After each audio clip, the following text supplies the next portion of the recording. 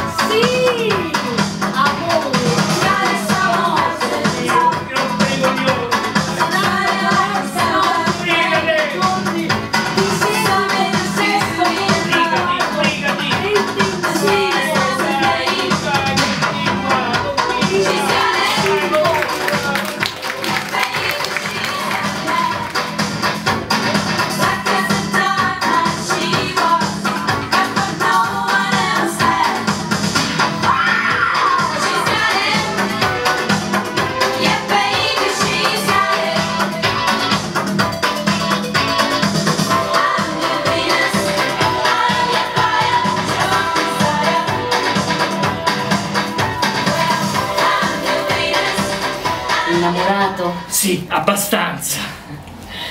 Dica la verità, era giovane la ragazza, Aveva tre anni. aveva tre anni. Sì, sono un necrofilo pedofilo. Adultero. Ah, pieno di virtù, ma... eh, la consorte dove l'ha conosciuta? In un obitorio. La stavano offendendo dal pube in su. Ma io ho guardato ben oltre l'aspetto fisico. Mi ricordo che esalava un olezzo di estensione di papaveri misto a margherite. Ah, e ha figli? Due carogne e quattro carcasse. Sono riversati sui banchi dell'Università di Tambor. Il primo mi darà soddisfazione a giugno. Non nego che qualche volta ho avuto l'istinto dell'incesto. Accidenti, ma lei è una persona completa.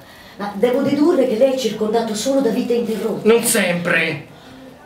Per esempio i colleghi del ministero sono tutti in stato di morte apparente. No, semplicemente gente noiosa, senza idee. No, no, no, no, no, credo proprio che si tratti di morte apparente. Tranne qualcuno vivo, vegeto e sano, ma con una vita così mediocre da parere completamente morto.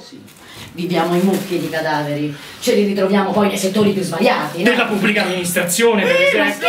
Quanti ce ne sono? Posso eh? venire con lei che mi racconta Andiamo. la sua visione della vita? Un attimo. La sua Weltanschauung? Anche perché poi lei ce l'ha tutte. Se fosse omosessuale, si prende mio marito che è il cadavere! Eh? necrofilo. E che cazzo?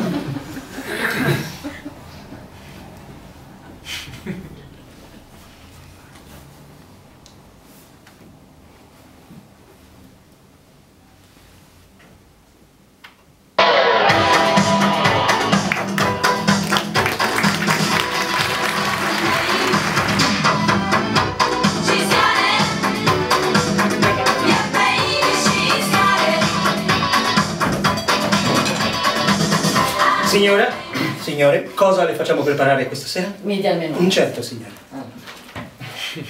Pollo e pasta con gamberi. Certo, signora. E il signore? Aragosta e soufflé. Certo. E da bere consiglio una buona bottiglia di vino bianco e il dolce della casa preparato dal nostro pasticcere francese. Ottima idea. Signora, signore. E ora la versione librata.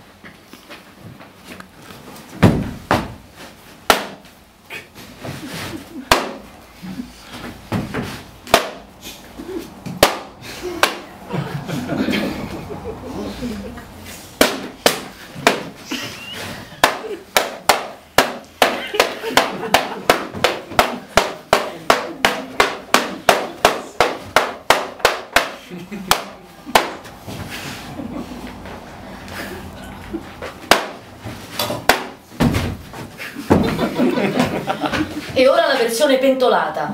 Oddio! No! no.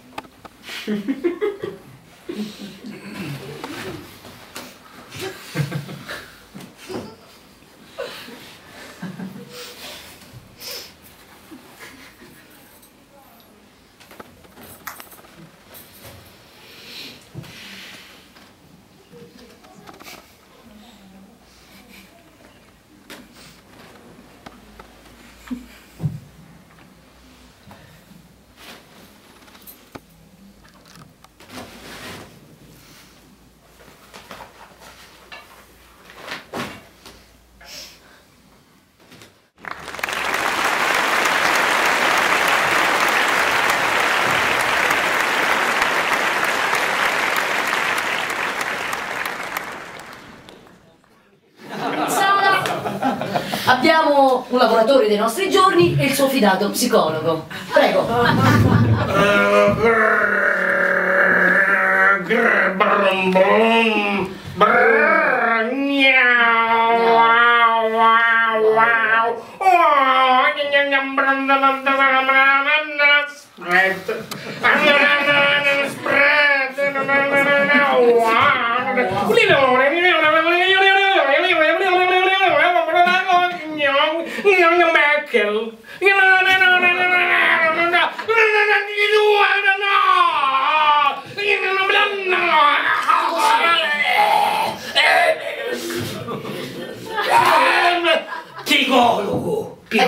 psicologo. Non può parlare, parla lo psicologo. Sì, eh, dunque, sono due anni che ho preso in cura questa spazzatura umana, con i suoi usi e costumi. Ecco, quindi la sua è una missione puramente esperienziale. Esatto, esatto. Fino a due anni fa tenevo in cura cammelli e pietre della Val Camonica. Poi a un certo punto mi si è aperto il cuore. È giusto, è giusto studiare nel dettaglio dove possono arrivare questi esseri umani con il lavoro, il progresso e l'economia. Ma la cosa che io trovo bella da parte dello Stato, non la messa in regola di questi pezzenti. Oggi pagano i 7,40, l'8 per 1000, le multe, il gas, il telefono. E naturalmente la spazzatura. E naturalmente la spazzatura, questa è integrazione. Ma quant'è il guadagno netto di questi accattoni? A circa 50 centesimi l'anno. E come fanno a pagare tutte queste imposte? Ah beh, è un problema che non mi riguarda. Se non pagano c'è la galera. È tutto a loro sfavore. La difficoltà è il loro mestiere. E queste sono cose belle, ma voglio dire, in un periodo in cui architettura, ingegneria, economia stanno venendo meno, la creatività è una competenza necessaria sul posto di lavoro, no? A questo punto faccio un appello a voi. Rimbocchiamoci tutti le maniche e andiamo a chiedere l'elemosina, no? E su, non diciamo che...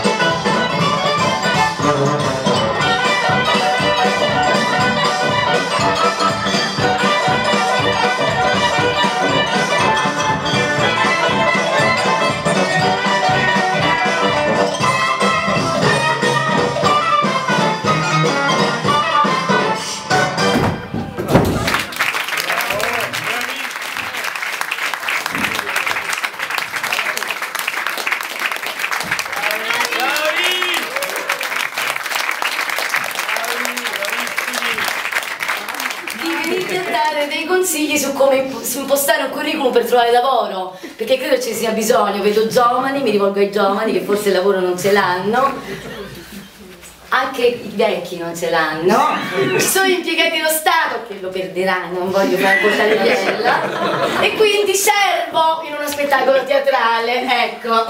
Dunque, allora io qui ho sotto mano dei curriculum, innanzitutto la laurea in lettere e filosofia. Basta, basta con l'umanistica, non serve al mercato! Non le vuole l'imprenditore, la lettera, eh, la lettera e le filosofie, le lettere. Ci dobbiamo allineare a quello che vuole l'imprenditore. Cosa vuole l'imprenditore? Vuole mettere soldi per fare altri soldi. Vuole mettere carta per accumulare carta nel portafoglio. Lo vogliamo aiutare in questa entusiasmante impresa o no? Poi vedo altre lauree. Giurisprudenza, carta da culo. Ingegneria, carta da culo. Economia, ragazzi, carta da culo. La laurea non basta, occorre la specializzazione. Lo stiamo dicendo da anni. Allora, noi cerchiamo nella nostra azienda 5 stupacessi aziendali. Numero 5 stupacessi aziendali, non li troviamo. Perché non si specializza nessuno. Allora, è sorta ultimamente una specializzazione post lauream Stupaggio gessi aziendale, che costa 10.000 euro l'anno ed è un numero chiuso. Anche il modo in cui presentate i colloqui è indecoroso. Bisogna venire in barba, no in barba, in giacca e cravatta e barba fatta, se no non vi prendiamo. Ci vuole presenza per stupare un sesso o no? Le competenze, l'inglese, la tazza del sesso, in ogni momento vi potrebbe chiedere What's your name? Voi che fate? Avete paralizzati?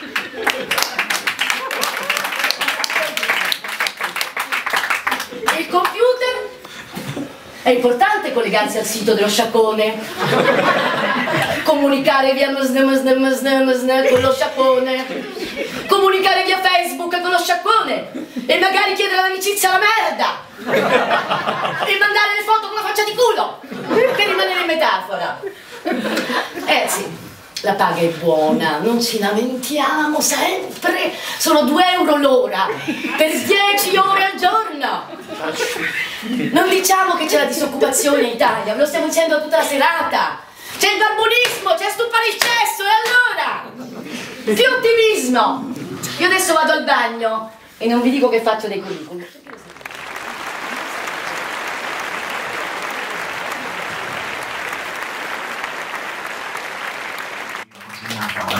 Ciamuro nel caso rimanessero perduti nello spazio durante una missione, senza la possibilità di rientro. Questa pastiglia portava ad una morte rapida, dolce e indolore.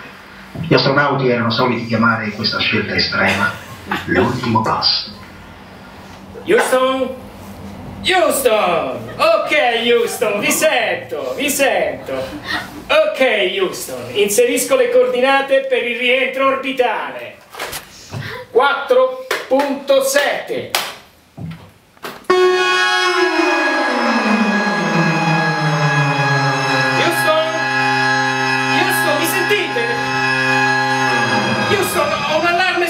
impostazione, ho una serie di allarmi su vettore e corridoio. Houston, cosa devo fare? Ok, Houston, sì, ho, un, ho una posta ripetere sul computer 1, la valvola del reagente A mi segna 123 in diminuzione. Houston, cosa devo fare? Io, ok, ok, Houston, ok, passo in manuale. Guarda questo. Ok, andiamo. Ho mancato il corridoio di rientro. Ho mancato il corridoio di rientro, ho perso il controllo della Mercury. Houston, Houston, Houston, mi sentite Houston? Dio santo, ho perso il controllo della Mercury. Eh, non, posso, non posso più rientrare. No, no, no, no, no. Aspetta, aspetta, non sto andando alla deriva. Se mi mandate le coordinate, io posso tentare di rientrare nell'orbita. Posso farcela se mi mandate le coordinate. Non, non sono spacciato, non sono spacciato, posso farcela. Cretini, posso farcela. Ultimo passo. Ma, ma Houston, come? Dio, Dio santo, ultimo passo. Houston, Houston, Houston, mi sentite Houston? Houston!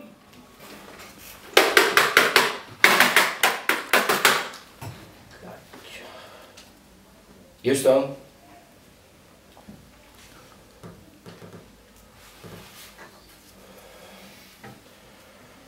Ma sì. Moriamo da eroi.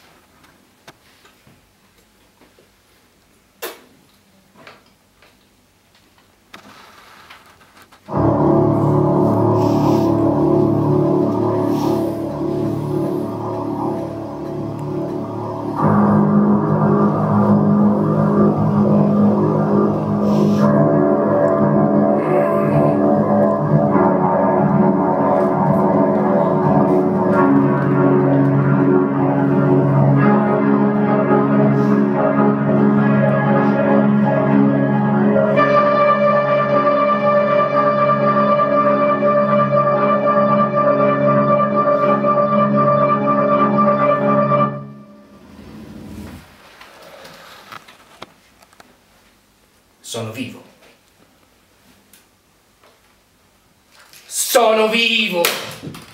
È scaduta.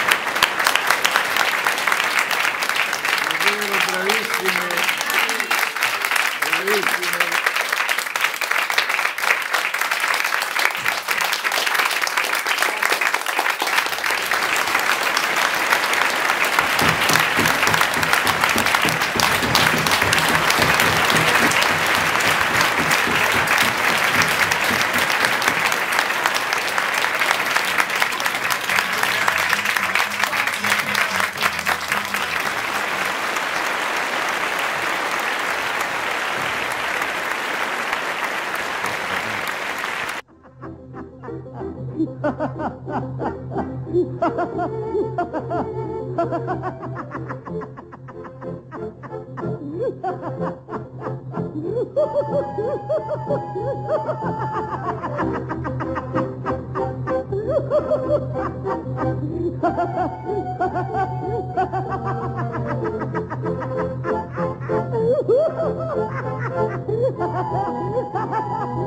ha! Ha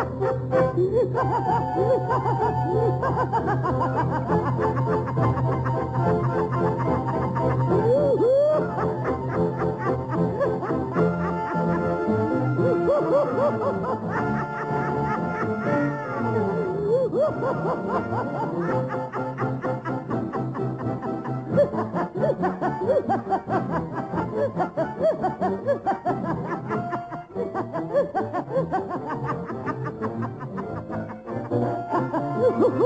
uh, uh, uh.